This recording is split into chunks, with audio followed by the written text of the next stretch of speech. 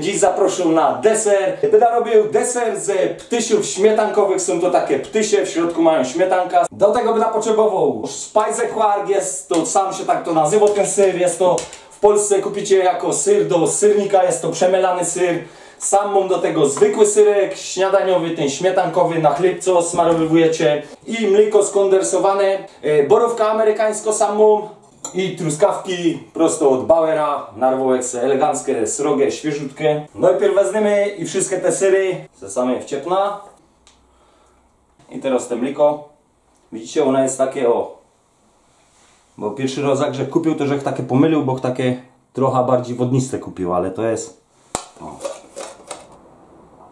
I teraz to fajnie wymieszać.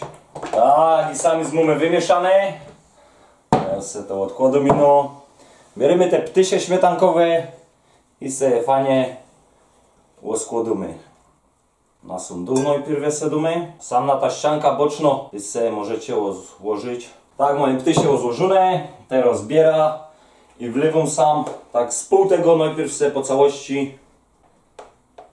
Tak.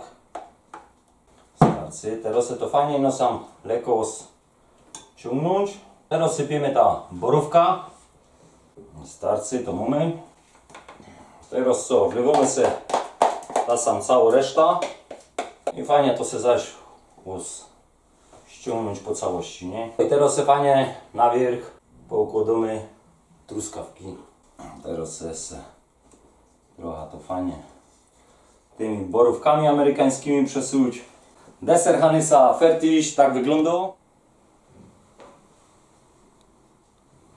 wygląda. I mój deser, ustawiam do lodówki na 2 godziny, przykrywam go inną folią spożywczą mleko.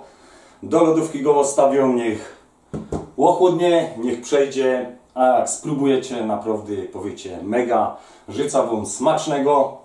Jak będziecie robić tym przepis właśnie deserek. Pozdrowią, a my widzimy się w następnych filmikach. Trzymajcie się, do następnego, cześć!